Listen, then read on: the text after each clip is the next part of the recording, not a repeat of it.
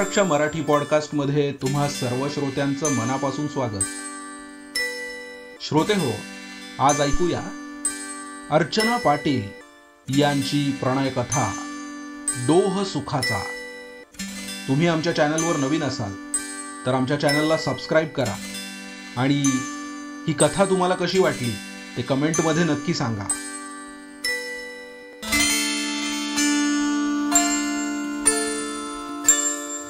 Hello काय करते माझी मांजर? आरुष नव्याला म्हणाला काही नाही बुख्याची वाट पाहत होती.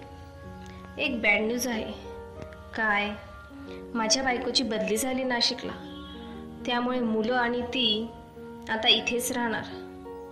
म्हणजे? सगळं संपलं की. नवव्याच्या डोळ्यात एका क्षणात टचकन पाणी आले. प्लीज यार तू अशी उदास होऊ नकोस.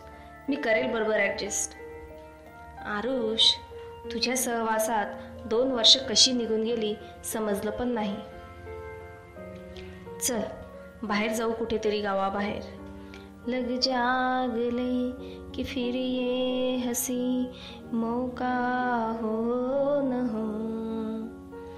आरुषने बॉसला विचारले आणि दोघेही फोर व्हीलरमध्ये ऑफिसमधून बाहेर पडले. ऑफिसमध्ये सगळेच जण या दोघांच्या संबंधांविषयी साशंक होते. नव्याचे वडील नव्हते. कुटुंबाच्या जबाबदाऱ्या पार पाडताना तिचे लग्नाचे वय निघून गेले होते. लहान बहिणीचे लग्न होताच सहा महिन्यात आईही या जगातून निघून गेली आणि नव्या एकटी पडली. लहान बहीण तिच्या संसारात रमली. नव्यासाठी स्थळ शोधणारे जवळचे कोणी उरलेच नाही. स्वतःहून स्वतःच्या लग्नासाठी धडपड करणे तिला जमत नव्हते. आयुष्यात हा संघर्ष चालू असतानाच आरुष तिच्या आयुष्यात प्रेमाच्या सरी घेऊन आला. मी चालू का आज फोर व्हीलर? नंतर तुझी बायको आल्यावर संधी मिळणार नाही. बरं चालू. ड्रायव्हिंगचा आत्मविश्वास चांगलाच वाढलाय की तुझा? नव्या ड्रायव्हिंग सीटवर बसली. वाव भारी वाटतंय रे ड्रायव्हिंग करायला. भर दुपारची वेळ असल्यावर रस्त्यावर कुत्र पण नाही आहे. मज्जा. अगं ये हळूहळू. रेस जास्त देऊ नको बरं का? ओ बापरे एस टी आली आरुष. तूच सांभाळ आता. मी सगळं सोडून दिलं आहे हा? अगं ए पागल स्टेरिंग तर पकड. भयानक नालायक आहेस तू. मेलोच तो आता आपण. उतर खाली. आता आरुष ड्रायव्हिंग सीटवर बसला. नव्या ये जवळ एक किस तर करू दे. अशी संधी पुन्हा मिळणार नाही. हे बघ रस्त्यावर मागे पुढे कोणीच नाही आहे. दोनच मिनिटात नव्याने आरुषच्या तावडीतून स्वतःची सुटका करून घेतली. बस बस मला ड्रायव्हिंग करू दिलं म्हणून इतकी किंमत पुरी झाली. आरुषने संतापात नव्याला सोडलं आणि स्पीडमध्ये ड्रायव्हिंग करू लागला. ओ बापरे राग आलं वाटतं माझ्या पिल्लूला. पण काहीही म्हण. एकदम क्यूट दिसतोस यार तू. दिवसातून शंभर वेळा तुझा डी पी पाहते मी. ते तुझ्या बायकोचे आणि तुझे शिपवरचे फोटो ते तर खूपच खतरनाक आहेत. ज्या फोटोत ती तुझ्या खांद्यावर हात ठेवून उभी राहते ना ते फोटो पाहिल्यावर मला खूप राग येतो. पण शेवटी तुझ्या खांद्यावर हात ठेवायचा खरा हक्क तिचाच आहे ना रे. चालू आहे ग. तुझ्यामुळे मी काही तिला सोडून थोडी दिलं आहे. संसार करतोच आहे ना मी. ड्रायव्हिंगचा स्पीड कमी करत आरुष बोलू लागला. आरुष यार पण ती खरंच खूप सुंदर आहे. स्वयंपाक पण खूप छान करते. तिच्या हातचा डब्बा खाऊ घातला आहेस तू मला भरपूर वेळा. तुझी दोन्ही मुलं पण किती क्यूट आहेत. खूप लकी आहेस तू. विषय कसा बदलला तू लगेच? घरी सोडू का तुला? नाही नको. जाईल मी. दुपारची वेळ आहे. येऊ दे ना. जेव्हा संधी असते तेव्हा भाव खाते आणि गर्दीत माझ्या पायावर पाय देते. चुप रे जा घरी. येईल तुझी राणी आता काही दिवसात. रात्रीचं टेन्शन नाही तुला. राजा राणी मज्जा एका माणसाची आता. दोन दोन बायका. नव्या घरी येऊन सोफ्यावर लोळली. शेजारच्या खोलीतून नेहमीप्रमाणेच तिच्या कानावर रेडिओचे गाणे आदळले. यू ही महके प्रीत पिया की मेरे अनुरागी जीवन में रजनी गंधा फूल तुम्हारे. गाण्यातला प्रत्येक शब्द तिच्या मनाला स्पर्श करत होता आणि ती ते क्षण जिवंतपणे जगत होती. गाण्यातील नायिका आणि ती काहीच फरक राहिला नव्हता. आरुष नव्याला सोडून घरी आला.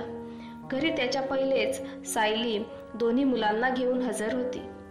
काय हो? कुठे गेले होते इतका वेळ? फोन पण लागत नव्हता तुमचा. सायलेंटवर होता म्हणून बेल ऐकू आली नाही. तू कशी काय अचानक? सगळंच सामान घेऊन आले की काय? एवढ्या बॅगा दिसतायत खरी. हो हो. घरच खाली करून आली मी नाशिकचं. मला माहीत होतं. तुमचं जमलं नसतं म्हणून मीच एका प्रायव्हेट एजन्सीकडून सामान शिफ्ट करून घेतला. सायली आणि दोन्ही मुलं यात आरुष हळूहळू गुरफटून गेला. नव्या आणि तो फक्त ऑफिसमध्येच भेटत असत. रात्रीचे चॅटिंग स्टेटस लावणे नव्यासाठी गाणी म्हणणे सगळे बंद झालं. नव्या पुन्हा आयुष्यात एकटी पडली. तिचा एकांत तिला पुन्हा छळू लागला. वेळी अवेळी आरुषसोबत फोनवर बोलण्यासाठी तिचा जीव तळमळे मोबाईल हातात घेतल्यावर आरुष कधी ऑनलाईन येईल या गोष्टीची ती वाट पाहत असे. त्याचा गुड नाईट किंवा गुड मॉर्निंगचा मेसेज पाहण्यासाठी पण ती चातक पक्षासारखी वाट पाहत असे. तासन तास आरुषचा डी पी पाहणे त्याची आवडती गाणी ऐकणे त्याच्यासोबत घालवलेला वेळ आठवणे असे तिचे दिवस जाऊ लागले. एके दिवशी रात्री आठला आरुष सायलीच्या घरी येऊन पोचला सायलीने पटकन दरवाजा उघडून त्याला आत घेतले. बावळट आहेस का तू? एवढ्या रात्री तुला कोणी माझ्या घरी पाहिलं तर लोक काय म्हणतील मला? मी एकटी राहते माहिती आहे ना तुला? समाज चांगल्या नजरेने बघेल का मला? बस ग पहाटे चारलाच कोणी उठायच्या आत निघून जाईल मी. सायलीला मुलांसोबत माहेरी सोडून आलो आहे मी. थोडा वेळ आपल्याला दोघांना निवांत बसता येईल म्हणून आलो मी. मग फोन तर करायचा ना पहिले मला माहिती होतं तू नाहीच म्हणशील. आरुष सायलीच्या केसांमध्ये बोटे फिरवत बोलू लागला. त्याचा हात तिच्या गालांवर ओठांवर फिरू लागला. त्याची पुढची हालचाल होताच नव्याने त्याला दूर ढकलले. थांब आरुष दूर हो. आपल्या नात्याची आणि समाजाने स्त्री पुरुष नात्याची आखलेली मर्यादा समजली आहे आता मला. माझ्या आयुष्यातील तू एकमेव व्यक्ती अशी आहे की ज्याने माझ्यावर भरभरून प्रेम केलं आणि माझे सगळे हट्ट तू कोणतीही तक्रार न करता पुरे केले. हे दोन वर्ष खरंच जगली रे मी आणि त्या आठवणी आयुष्यभर जपून ठेवणार आहे मी. पण त्यासोबतच तू विवाहित असून माझ्यापेक्षा प्रत्येक गोष्टीत सरस असलेली तुला एक बायको आणि दोन गोंडस मुले आहेत. हे वास्तव स्वीकारले आहे मी. तुझ्यातून बाहेर पडले आहे मी आता पूर्णपणे. माझी रात्र आणि दिवस प्रत्येक वेळी तुझं व्हॉट्सअपचं लास्ट सीन पाहण्यात जात होतं. तुझं व्यसन लागलं होतं रे मला. खूप प्रयत्नाने मी माझी सुटका करून घेतली आहे. तुझ्यासोबतचा सुखाचा डोह हा शेवटी दुःखाच्याच खाईत संपणार आहे. किसका रस्ता देखे दिल ये सोधाई. मैलो है खामोशी बरसो है तन्हाई शेजारच्या खिडकीतून ऐकू येणाऱ्या या गाण्याच्या ओळींनी वातावरण अधिकच उदास झाले. नव्याचे डोळे आणि गाण्याचे बोल आरुषला सगळं समजावून सांगत होते. काय ग नव्या असं काय उपऱ्यासारखं बोलते आहेस आज? आरुष नव्याचे हात हातात घेऊन बोलू लागला. आज दोन महिन्यांनी तू माझ्या घरी आलास कारण सायली माहेर गेली. पण या दोन महिन्यात ऑफिसमध्ये नजरानजर करण्याशिवाय दुसरं काहीही आपल्यात झालेलं नाही. या दोन महिन्यातील एकांतात मला माझी चूक समजली. मी एका मृगजळाच्या मागे धावते आहे. मी कितीही प्रयत्न केले तरी या जन्मात तू माझा नाही होऊ शकत. मित्र म्हणून आयुष्यभर तुझं स्वागतच करेन पण माझ्याशी शारीरिक जवळीक ठेवू नकोस. आपल्या मैत्रीला मर्यादा असावी असं मला वाटतं. म्हणजे मला पण स्वाभिमानाने जगता येईल. तुझ्या निर्णयाचा मी मान राखतो. माझ्या चाळीस वर्षाच्या आयुष्यात तुझ्यासारखी मुलगीच पाहिली नाही मी. ही दोन वर्ष मी पण भरभरून जगलो तुझ्यासोबत.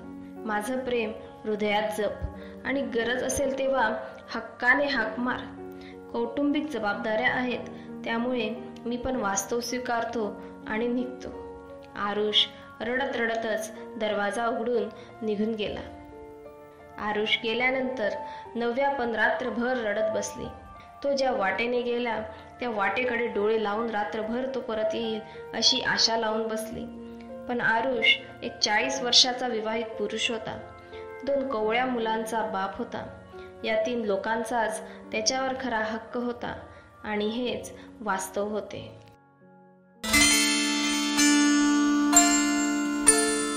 श्रोते हो आत्ताच आपण अर्चना पाटील यांच्या आवाजात त्यांनी लिहिलेली कथा ऐकली डोह सुखाचा.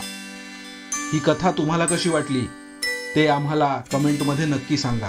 आणि हा व्हिडिओ लाईक करा शेअर करा आणि आमच्या चॅनलला सबस्क्राईब करायला विसरू नका. पुन्हा भेटूया आणखी एखाद्या व्हिडिओत. नवीन कथेसह. तोपर्यंत नमस्कार.